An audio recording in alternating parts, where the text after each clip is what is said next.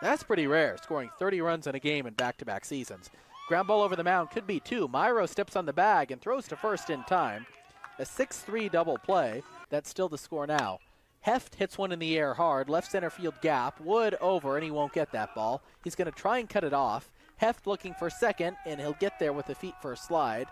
He has a one out double the first inning, and induced a double play in the fifth. The 2 0 is a ground ball up the middle. A nice diving stop by the second baseman. Kicks over to the shortstop, but he'll have no play. Deep breath now.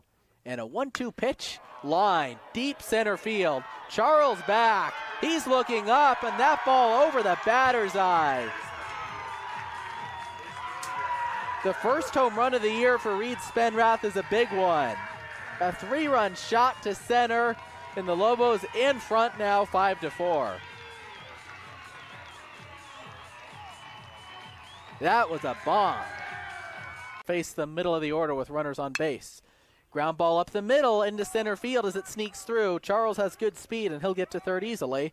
So a single for Heft on a chopper up the middle. And now runners at the corners for the Hustlin' Rebels with two outs. Ready in a 2 2, lifted in the air down the left field line. Panaro chasing, he lays out and he can't get it and that ball goes to the wall. Excellent speed for Walker. He's going to coast into second base and stop there with a leadoff double.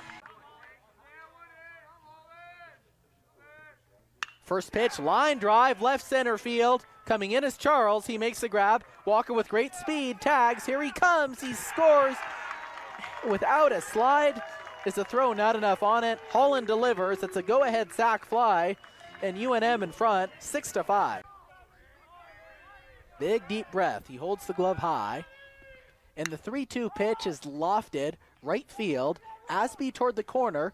Looking up, reaches up, and he makes the grab as he bangs into the wall. Arrow on deck. The 1 2 swing and a miss on a fastball foul tipped. Two away in the ninth. And Jackson fires this one lined right center field. That's going to get in for a base hit. Over is Stevens to cut it off. The tying run. O'Sullivan heads for third. It's a single for Seeger. And the run and the uh, hustling Rebels rather have first and third, two outs in the ninth. Ready to go. Jackson ready, and the first pitch is a ground ball to the second baseman. Fielded by Dixon. He bobbles, picks it up, throws to first, and that's your ball game. They're on a Saturday rely on a couple of big clutch hits today. The Reed Spenrath three-run homer. This go-ahead sac fly by Holland after Walker doubled in the eighth inning, and some big-time pitching there by Jackson in the end.